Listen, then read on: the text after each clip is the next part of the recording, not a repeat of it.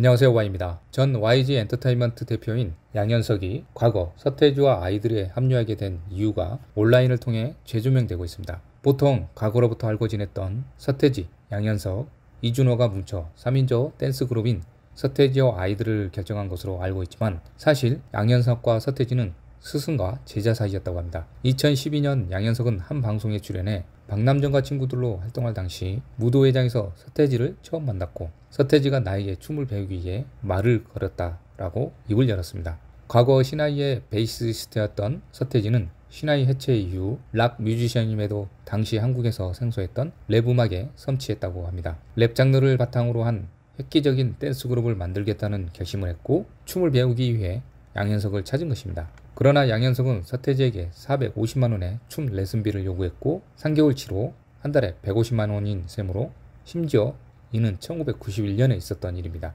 양현석은 방송에서 춤은 이태원 클럽에서 배우면 된다고 간단히 얘기했는데 그 다음 날부터 클럽에 나와 한 달간 가만히 앉아 바라보더라고 했습니다. 당시 나는 춤추는 친구 중에 인기가 많아 거만했는데 서태지가 나에게 춤을 배우고 싶다고 해 레슨비 450만 원을 일시불로 받았다고 털어놨습니다. 그런데 양현석이 군대 영장이 나와 의도치 않게 돈을 환불해주지 않고 연락을 끊게 됐다고 고백했습니다. 그는 춤을 못 추게 되자 몸이 안 좋아져서 약 8개월 만에 의병 제대했으며 양현석은 제대 후 아는 사람 연락처를 뒤지던 중 서태지에게 연락하게 되는데 당시 서태지는 난 알아요 곡을 쓴 뒤 솔로 앨범 준비 중이었다고 서태지와의 제의를 전했습니다.